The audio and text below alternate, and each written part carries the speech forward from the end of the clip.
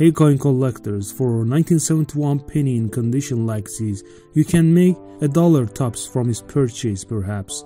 However, this 1971 cent brought some collectors thousands of dollars. Hit subscribe button below this video and without much ado, let's find out why this red penny is worth big money. Given coin was graded as MS66 red by PCGS. Yes, being uncirculated is another factor, but the main reason is that it bears double die elements on obverse side. The date, liberty, and the word God are die doubled, but spread is not that wide as in 1955 or 1969 issues. The spread on the date, especially the 9 and the 7, is much more significant than implied by the ill-chosen photo for variety within the cherry picker's guide. A superlative example whose orange-red fields and devices are virtually devoid of carbon. This rare painting was bargained for $10,350 at Heritage Auctions. Moving on to this 1965 Washington quarter in circulated AU58 condition. This 25 cent was erroneously struck on 90% silver planchet intended for 1964 quarter dies. A regular clad quarter weighs 5.67 while weight of this error quarter is 6.14 grams. The present particularly lustrous example is untoned and lightly abraded.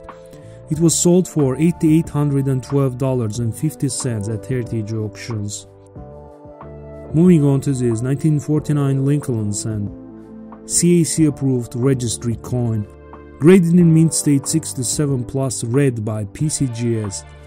Although plentiful in lower grades, the 1949 Lincoln Cent is conditionally scarce in MS67 red, and such coins are rare with plus designation. The strike is sharp and frosty copper orange luster is devoid of carbon spotting. Metal composition is 95% copper, 5% tin and zinc. Weight is 3.11 grams.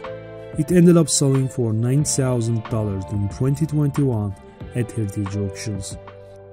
Here is 1949 D Jefferson nickel in mint state 67 with full steps, rare at this lofty graded level.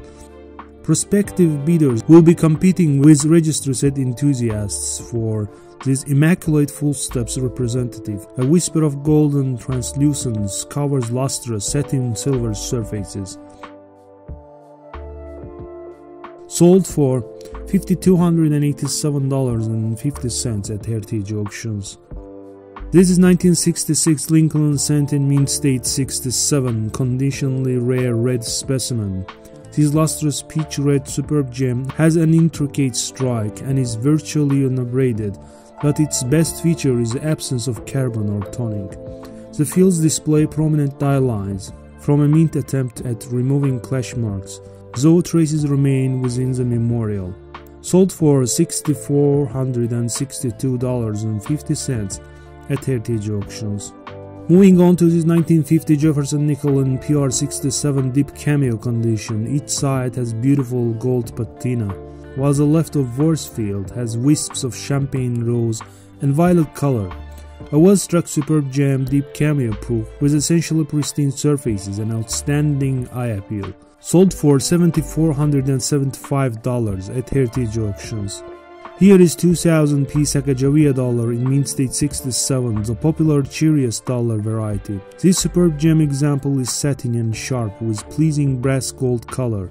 The so-called Cheerios dollar is distinguished from ordinary 2000 p Sacagawea dollars by examining the eagle's tail feathers. The Cheerios variety shows the fine ribs in the tail feathers, while ordinary coins are smooth includes the original 2000 Philadelphia Lincoln cent from same cereal box promotion, graded MS67 red by PCGS. Sold for $4,560 in 2021 at Heritage Auctions. And this is 1973 S quarter in PR70 deep cameo condition, ultimate gem, and must have registry coin which displays a perfect strike and exceptional field device contrast. Light golden toning adds warmth to each side. Most earlier issues in the Proof Washington Quarter series do not exist at PCGS in PR70, sold for $5,875 at heritage auctions.